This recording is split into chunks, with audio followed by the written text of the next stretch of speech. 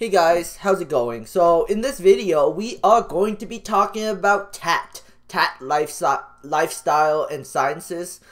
Uh, if you're not aware what this company does, they basically sell you um, hemp based beyond like they call it beyond tobacco but it's basically a hemp cigarette they're selling you a hemp cigarette not a tobacco cigarette and they're calling it Beyond Tobacco. That's their market marketing. They are trying to get people to switch from smoking a tobacco to, I mean, a cigarette to a hemp cigarette, and you know it's supposed to help people get off the cigarettes. It's supposed to help people, um, you know, not smoke as much or have the option to, you know, smoke something that's healthier for you, which is hemp. And you know, CBD is good for you. I don't know. Actually, I don't know if CBD is good for you. Uh, I'm not. I'm not a doctor. I don't know for sure.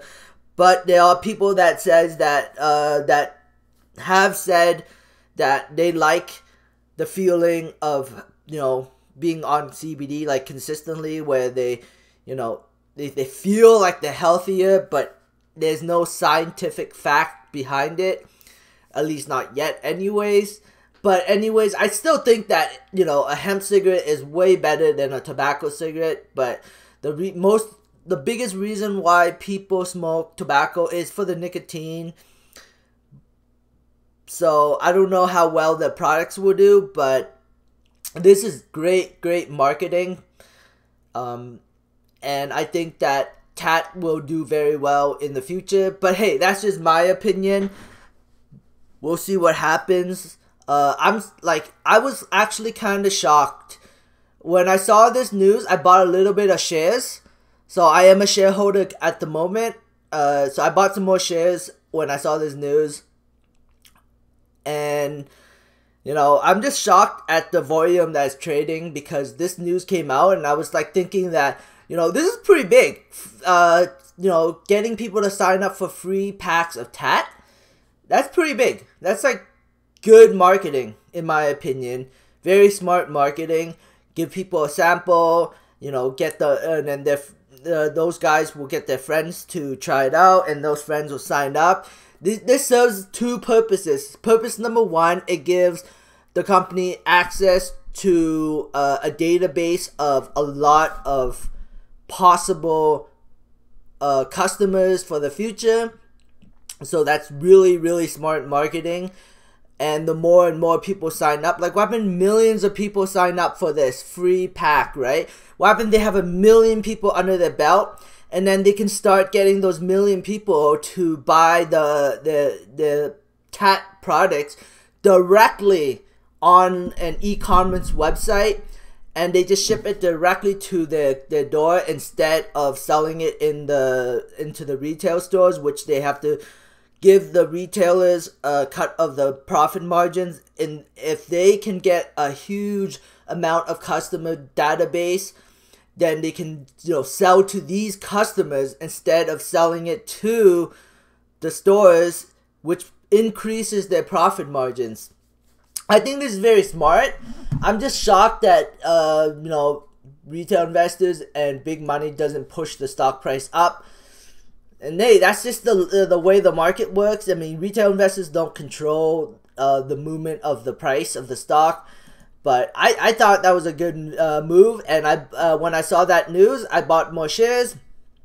Uh, not gonna disclose how many shares I bought, but I have more shares of this company, and if the price keeps dipping, I will keep adding onto my position. That is my plan moving forward we'll see where TAAT goes, but you know, I think that was pretty genius idea of TAAT.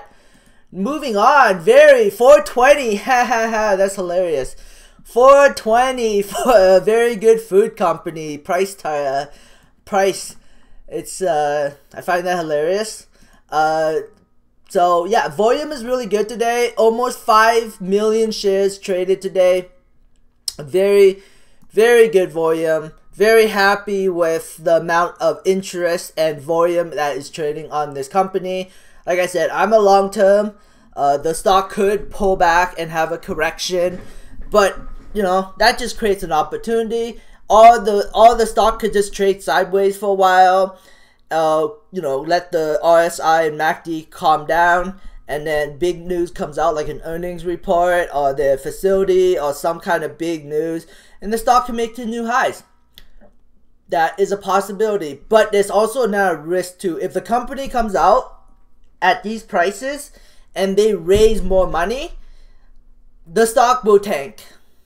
So I'm hoping the company doesn't have to raise any money from now till maybe next year once their facility in uh in uh, California is operational and the Vancouver facility is, uh, is operational and the Vancouver restaurant and facility is operational and then I would like them to see them raise money. I'm hoping they raise money at like six, seven dollars per share, not at four dollars per share. Maybe even at ten dollars per share. I would be happy if I see them raise money at ten dollars per share. But will they?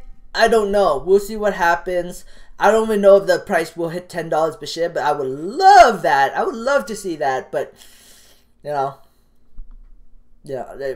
Uh, 1000% return on investment. I I haven't had a thousand return. I had never had 1000 re, uh, return on investment. Aurora was around I think 700% return on investment when it hit $14. I've never had a thousand. I'm hoping very good food companies uh, becomes my very first 1000% return on investment. Uh, the, the very good food company VRYY is tr uh, trading 3 million shares on the US exchange. That is really good volume. Lots of new investors. Not a lot of investors are buying into this company right now, and that's a good sign. Uh, Snap. I don't know why I have Snap up. It's probably just from my old tab. But yeah, Snap is just trading sideways today. The presidential election it seems like uh, Biden is gaining traction over Trump, but uh, we'll see what happens. Now it's about 3 million uh, votes uh, difference between Trump and Biden, and Biden is is very very close to that 270. I think Trump needs a miracle to win this, but hey, that's just my opinion. We'll see what happens. Beyond Meat Beyond Meat up $2.24. Not too much to say about that. And this is my same tab from last time. The SPY. The SPY looks bullish. Like, it looks bullish. MACD looks like it's going to go, it's going to start an uptrend here very soon. Uh, I think uh, in the next week or so, uh, by the end, maybe even by the end of the week, I think we're going to break 352.43. That's my opinion anyways. We'll see if that happens. Uh, the market, yeah, the like the overall market still looks very strong. I think that Biden wins. I think oil might, you know, tank a little bit, but I could be wrong. It's strange that oil's up with Europe going into lockdown, and we all know that Biden will put the United States in lockdown if if he was told to do it. Trump will not, but Biden will and you know that could you know that could be a catalyst for the stocks to go down. I don't know at the end of the day. If the united states declared lockdown in most of the states because biden uh, is the president and he decided to lock down the country I, I, I can see the stock tanking a little bit. But then we can all but then you also have to remember that stimulus the stimulus will get passed after the election and you know that could be in that like that could be counteract the the lockdown. So we'll see what happens. Uh, Hyliion, Hyliion is up 43 cents uh, after hours. Uh, Lordstown is pulling back a little bit. Uh, it had a nice uh, skyrocket today. Now it's pulling back. Uh, Workhorse is down a dollar forty-one, eight percent uh, Solo is, you know, doing okay today, kind of trading sideways. Had a nice pop and then pulled back a little bit. Nano Dimension is down 11 cents or 10 cents. Blink today is down 3.44%. GameStop is down well it well it was down a lot more and then it's popping back up again. Zoom is just keeps going up. Xilinx is following AMD. AMD goes up, Xilinx go up. Uh, where is AMD? I don't know. Man, my my my thing is my, uh my tabs are not in proper order. Snap is just trading sideways. Nvidia is up 5.32%. ACB is down 40 47 cents today. We'll see where this goes tomorrow. Uh, CGC is also down $1.62. I think that Aurora follows Canopy. If Canopy goes down tomorrow, Aurora will probably go down tomorrow. Kron is down 7.28%. Aphria is doing not bad. Oh, look, it's yeah, it's kind of yeah, it's not, not doing not bad compared to the rest of the market. Liberty Health Science is popping back to 46 cents. Harv is uh, up a penny. Planet 13 trading side. AMD up 6% today. 6%. So yeah, uh, Ride is up for 70 cents. Uh, Workhorse, uh, man, my tabs are everywhere. Here's GameStop. Doc, Doc Cloud MD is up $4.07. $310 million market cap. The very good food company is $229 million market cap. So I, I still, you know, that's why I'm kind of still bullish on Very. But uh, we'll see what happens in the near future. Uh, Cineplex is up today, 6 cents. Kind of strange that's up when there's lockdowns going on. They're having earnings coming up here very soon on November 13th. High Tide is down 5 cents. Uh, yeah. ACB is down 47 cents. Uh, already talked about that. Anyways, thanks for watching. Subscribe for future updates and have a great day. Bye.